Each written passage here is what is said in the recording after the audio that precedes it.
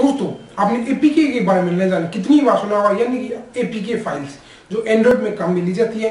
अगर आप इसके बारे में जानना चाहते हैं कि एपीके फ़ाइल क्या होती है और ये कैसे काम करती है तो ये वीडियो देखते रहिए। मैं नाम इंसान चौधरी, आप देख रहे हैं इंसान बात। लेट्स स्टार्ट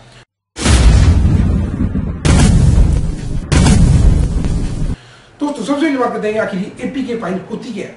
एपीके फ़ाइल एक वो प्रोग्राम है जो आपके एंड्रॉइड स्मार्टफ़ोन में ही काम में लिया जा सकता है, यानी कि एपीके एक ऐसे फॉर्मेट है जो स्मार्टफ़ोन में सॉफ्टवेयर इंस्टॉल करने के लिए काम में लिया जाता है।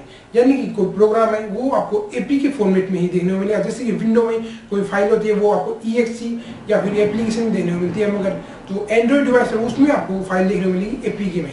यानी कि कोई सॉफ्टवेयर जिसे आप इंस्टॉल कर सकते हैं, वो आपको सिर्फ़ एपीके फ़ाइल में ही मिलेगा। एपीके फ़ाइल का मतलब आप इस प्रोग्राम को अपने एंड्रॉइड फ़ोन में इंस्टॉल कर सकते हैं, मगर आप किसी एपीके फ़ाइल को किसी विंडो या फिर आईओएस डिवाइस में इंस्टॉल नहीं कर सकते। अब बात करते हैं कि एपीके फ़ाइल बनती कैसे है। यानी कोई सॉफ्टवेयर डेवलपर है, वो कोई एंड्रॉइड के के लिए कोई ऐप लिखता है। यानी कि मान लो आपके पास कोई यूसी ब्राउज़र है।